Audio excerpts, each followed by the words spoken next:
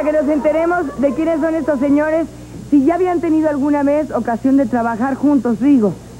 Sí, efectivamente, yo eh, trabajé dos veces con él allá en Villahermosa. Sí, Eh, eh, sí. por cierto que tuve muchísimo éxito, ¿no? Gracias, gracias. Recuerdo también, Sí. Rigo, esos- esas oportunidades que tuvimos de alternar los bailes inolvidables. Bueno, yo no la tuve, no, la, la tuviste tú. Ok, está bien. No, fue para no, mí. no, o sea, somos hermanos, todo el movimiento musical de, de- de México. O sea, todos los, los grupos, todos somos grandes hermanos, ¿no? Grandes Lógicamente hermanos, sí. que cuando, cuando estamos en un stand, pues tratamos de, de- de darnos en la torre, ¿no? Porque es lo que la gente quiere, ¿no? Pero eso es a todo dar. o sea, Sería como-. Eso es. Sería como dos boxeadores de peso completo que de Bueno, yo no soy de repente... peso completo. Bueno, de, de- ¿qué, qué peso sería usted? ¿Mosca o cómo se llama Yo ese sí ya casi soy semicompleto. ya. bueno, sería la misma situación de dos gentes que en la calle se llevan muy bien y por su profesión al subirse a un estrado tienen que dar cada quien lo mejor y son los más grandes enemigos, ¿puede Creo que de eso ha dependido el éxito tanto de Rigo como el de un servidor. El corazón que ponemos cada vez que subimos a un stand, como dice él. No, y nos vamos a dar un tiro, un baile. Ay, cuando tú quieras. A mí, ¿sabes cómo me gustaría que tocáramos juntos?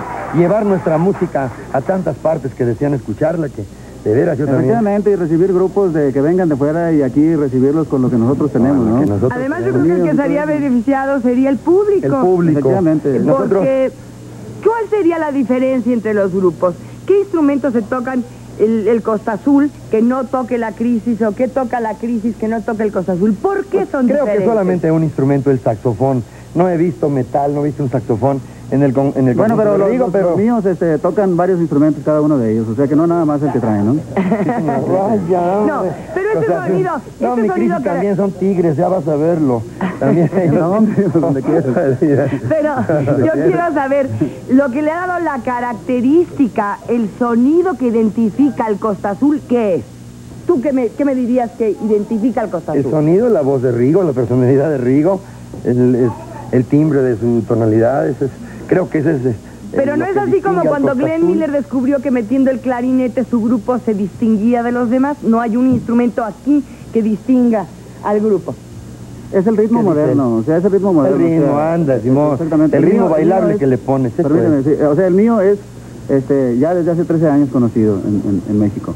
El de Chico Che yo creo que, no sé, parece que unos 3 años, ¿no? 4 años. Tres, cuatro, Rigo, sí. Efectivamente. Aunque me decía Chico Che la semana antepasada que estuvo con nosotros que él lleva también 15 Sí, años mi en el ambiente tiene 15 artístico. años trabajando. Solo que a mí me costó un poco más trabajo entrar a esta zona.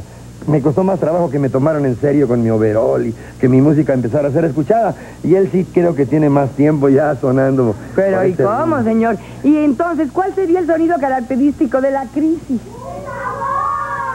Pues, este, El sabor.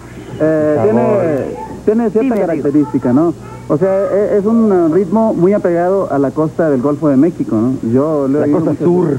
y- Exactamente. y tú eres norteño, Yo soy tu música tiene una influencia más norteña. Sí. Creo que ahí hay una diferencia básica, Rigo. Tú eres norteño y yo soy sureño. Vámonos a los comerciales porque yo soy del centro y quedé aquí en medio. Esa es.